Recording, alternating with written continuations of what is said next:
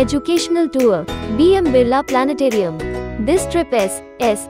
Citizen School student enjoys and learn lots of things. BM Birla Planetarium is considered in the modern world as an indoor universe.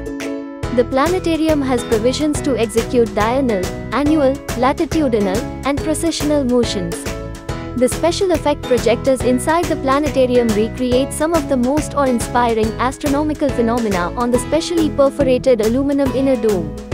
Multi-dimensional activities and multimedia projection arrangements which have been incorporated inside the Sky Theatre make the program further lively and excited one. The planetarium, which is fully computerized, can seat 236 persons at a time.